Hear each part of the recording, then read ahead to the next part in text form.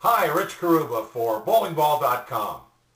Understanding the term bowling ball RG, radius of gyration, will help you make a good decision in purchasing your next bowling ball. There are a few key factors in ball construction to consider when you choose a new bowling ball. First, cover stock makeup of a bowling ball will determine the gripping power of the giving ball on the lane surface. Next, the core design will help determine the ball motion or shape of the ball reaction while that given ball is rolling down the lane. Given that information, within the core of any bowling ball exists measurements of mass distribution which are used to measure a bowling ball in motion traveling down the lane. The bowling ball RG is one key measurement engineers use to identify how the mass distribution inside a bowling ball is concentrated. The radius of gyration is an account of the location of the mass inside a given bowling ball and relates whether the ball mass is concentrated toward the center of the ball, that would be low RG, toward the cover stock of the ball, that would be high RG, or between the two points, medium RG.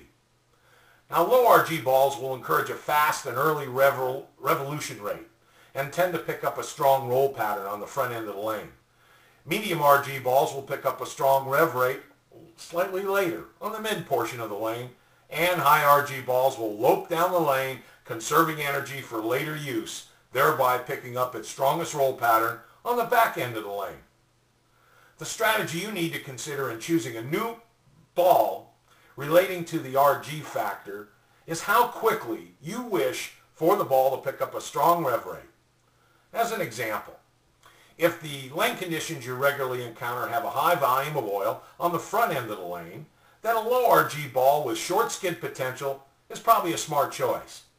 If lane conditions have medium oil and need a little wider angle down the lane, then choosing a ball with a medium RG will match well because medium RG bowling balls pick up a stronger rev rate a little later on the mid part of the lane. And as you might expect, dry lanes or drier lane conditions, which have little oil on the front end and tend to encourage an earlier hooking motion than you might desire, require a high bowling ball RG, encouraging greater skid length and conserving energy until further down the lane. So in summary, it can be said that RG ratings are factors in determining the hook potential a given ball possesses while traveling down the lane.